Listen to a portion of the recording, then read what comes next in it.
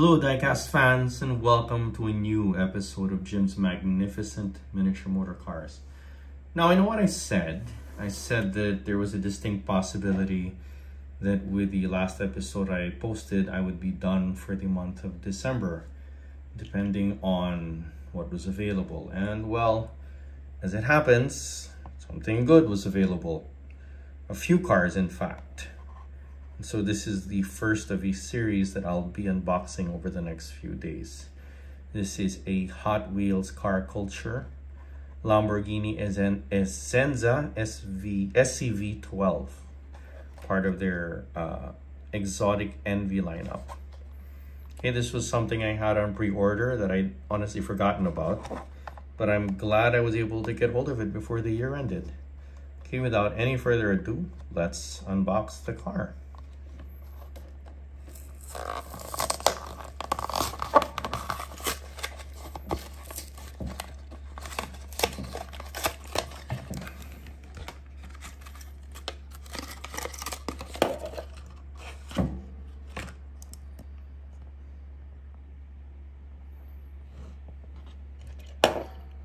Okay, well, that looks interesting.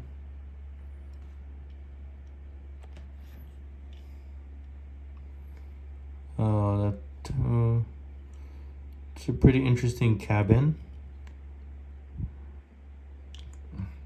It's a fairly interesting cabin. Interesting bodywork. And they got um, side mirrors, which, as many of you know, isn't always a given with Hot Wheels.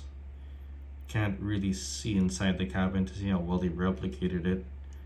So I can't tell you if the steering wheel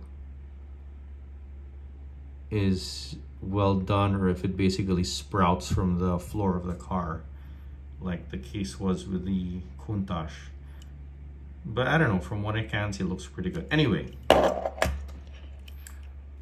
have a look at how this car compares to the real Lamborghini uh, Essenza S SCV12.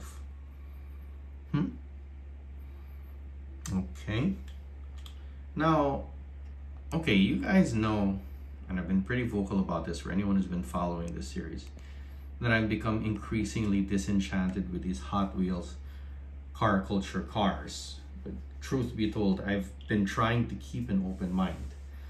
Okay, and fortunately, fortunately, that patience can be rewarded every now and again. Like this, this car, it's still not great. I mean, again, we're talking about a car that costs about as much as a Mini GT. Okay, these are $9 cars.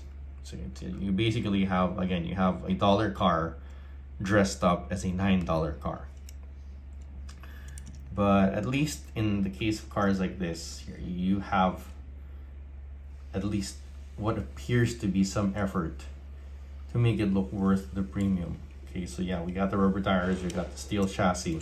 But more important than that, we have some pretty good uh, decos, okay? So I'm gonna recognize the effort Mattel took here and I'm gonna score this a, I'm gonna give this an 8.5 out of 10, all right? Yeah, could they have done better? Maybe. For the price, maybe. But yeah, I think this is pretty decent work by Mattel, even taking the premium into account. So 8.5 out of 10. All right, and that's it for this unboxing. There will be a couple more to come, so stick around. For those of you who just got here, I hope you like this video and I hope you'll consider giving me a like and a subscribe and hitting that notification bell.